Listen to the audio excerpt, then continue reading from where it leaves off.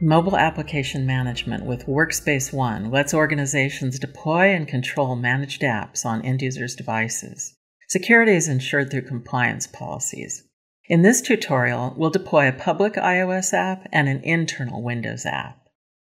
In the Workspace ONE UEM console, click Resources, Apps, Native, Public, Add Application. The Manage By box displays the name of the organization group. For platform, select Apple iOS. Search the App Store is already selected, so you can just type in the app name, Salesforce, and click Next. In the search results, click Select next to Salesforce. Now all the details are displayed. If we want our app catalog to be organized into categories, we can select which category we want to use for Salesforce. I'll use business. We'll just scroll down to see what details and options are available. And likewise, we'll take a look at the other tabs. We won't use a terms of use agreement for this exercise. The SDK is very powerful, but we won't complicate this exercise by using an SDK profile. If you are interested, take a look at the documentation guide called App Management with Workspace ONE SDK Settings. Click Save and Assign.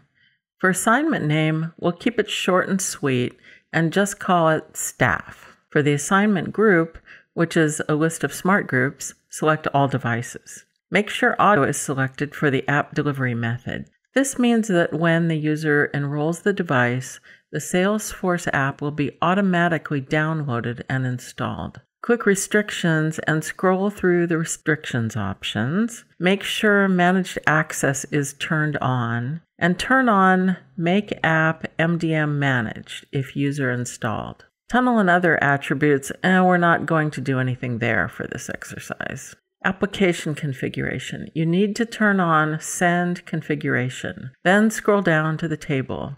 Now this is already filled out because I filled it out earlier, but let's go over the settings. Under configuration key, enter app service hosts. Set value type to string.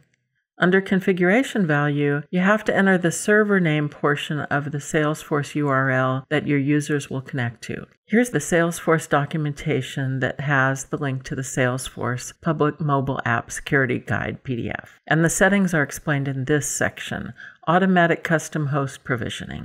It says here for iOS, do not include HTTPS, whereas for Android apps, you do include HTTPS. Back on the assignment page, click Create, and the assignment is listed on the page. Click Save.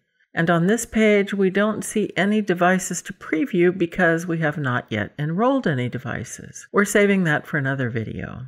Click Publish. And we land on the Assignment tab for the Salesforce app. If we click the Summary tab, we see all these tiles. When we enroll some devices, we'll be able to use these tiles to track the status of the app deployment and the versions of the installed apps on the various devices.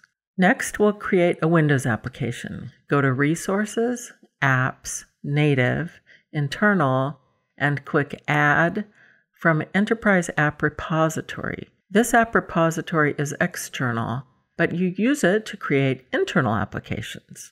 When you use apps from this list, it saves you from having to manually upload the app file and then having to enter a bunch of configuration settings yourself. The repository has all kinds of commonly used apps. See, there's 138 in this list. So many apps will use the search bar to find Notepad++.